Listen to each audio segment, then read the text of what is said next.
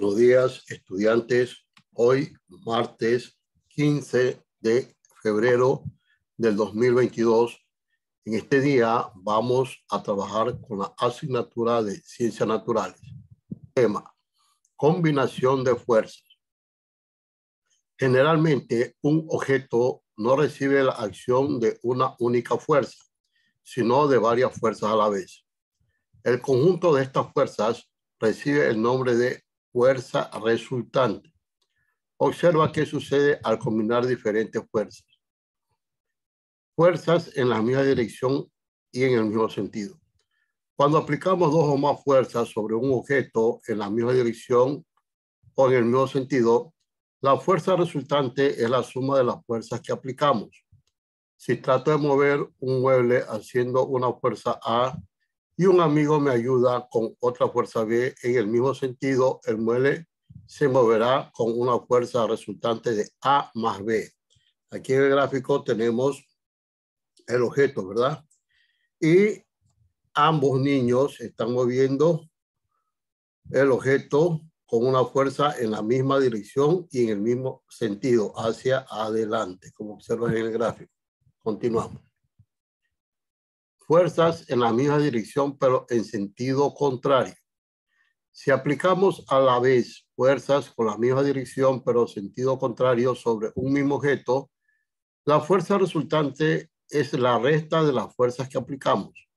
Si trato de mover un sillón con una fuerza A y otra persona ejerce una fuerza B opuesta a la mía, el sillón se moverá con una fuerza resultante A menos B. ¿sí? Como puedes observar aquí, en el gráfico, el niño es la fuerza A y el otro es la fuerza B, ¿sí? Si el de la fuerza A trata de mover en una misma dirección, el otro de la fuerza B opuesta a la mía él será una fuerza B. Pero si se mueve el objeto con una fuerza resultante de A menos B. ¿Sí? Es decir, aquí la fuerza A es la que va a mover el objeto, ¿sí? El que tiene pues más fuerza, ¿verdad? Continuamos. Fuerzas perpendiculares. Cuando aplicamos a la vez dos fuerzas perpendiculares entre sí, la fuerza resultante desplaza al objeto en una misma dirección intermedia a las dos fuerzas aplicadas. Si realizo una fuerza A contra una mesa y un amigo me ayuda con una fuerza B perpendicular a la mía, la mesa se moverá en una dirección intermedia a ambas fuerzas, ¿sí? Por ejemplo, la fuerza perpendicular va hacia este lado, ¿verdad? Él jala la mesa mientras que el amigo ayuda con una fuerza B perpendicular a la mía. La mesa se moverá en este sentido, hacia adelante, es decir, de manera perpendicular. Continuamos. Efectos de la combinación de la fuerza. Si combinamos distintas fuerzas, la fuerza resultante global es la que provoca el efecto en el objeto. Por ejemplo, tres personas están empujando un piano de cola. Como puedes observar ahí en el gráfico, ¿verdad? Aquí están tres personas empujando un piano de cola. ¿Por qué le llamamos de cola? Porque termina en una punta. Dos empujan desde el teclado, sobre todo aquí mientras que una tercera empuja desde el lateral que está acá. El efecto final es que el piano avanza hacia adelante, pero desviándose hacia un lado, ¿sí? Es decir, ¿hacia qué lado se van a desviar? Hacia el lado derecho. Bien.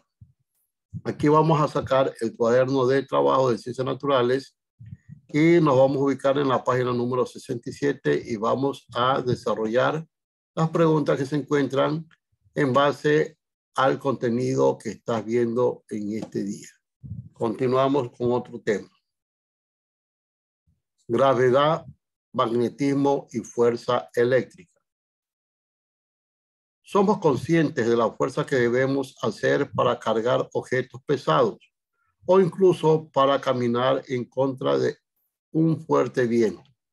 Sin embargo, hay fuerzas que nos pasan más desapercibidas, ya que actúan a distancia, como son la gravedad, el magnetismo y la fuerza eléctrica.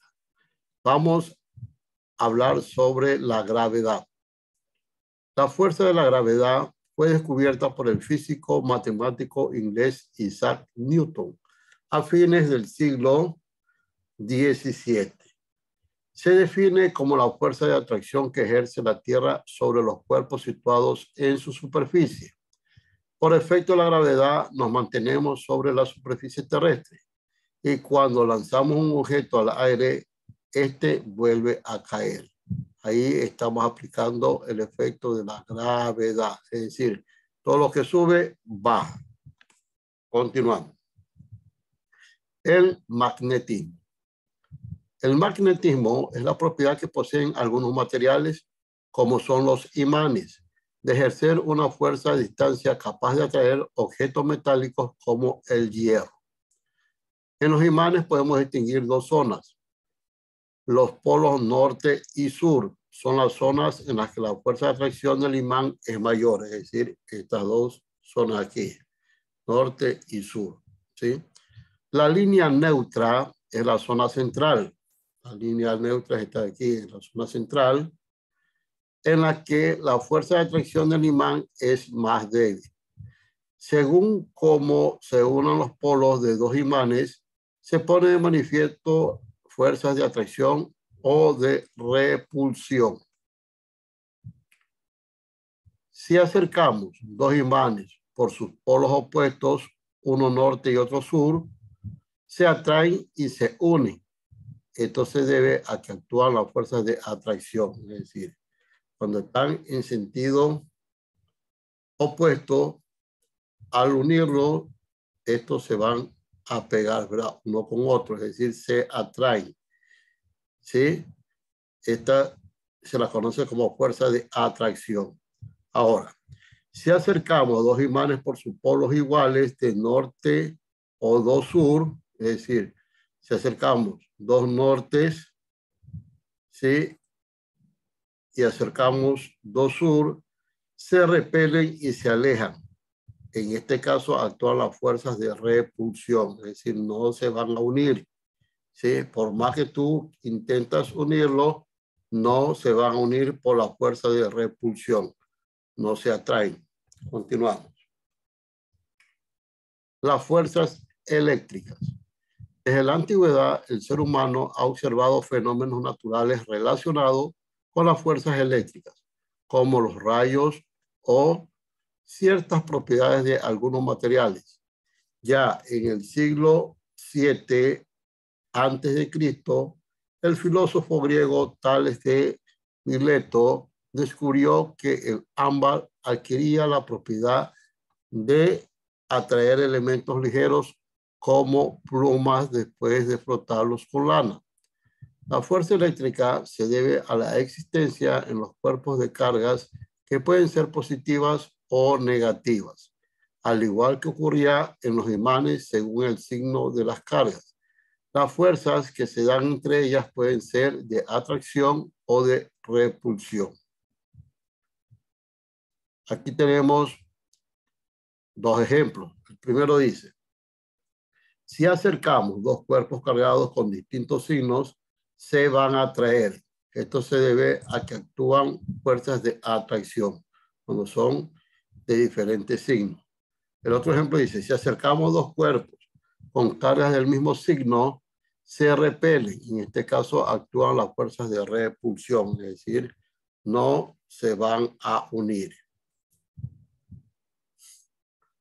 Además, las cargas negativas o electrones pueden desplazarse por la materia. Este desplazamiento recibe el nombre de corriente eléctrica, según cómo se comporta un determinado material frente a la corriente eléctrica. Distinguimos entre materiales conductores y materiales aislantes. ¿Qué son los materiales conductores? Son los que permiten el paso de los electrones por su interior. Metales como el cobre o el oro son buenos conductores. ¿Y qué son los materiales aislantes? Son los que ofrecen resistencia al paso de los electrones. Estos son el plástico y la madera y son materiales aislantes.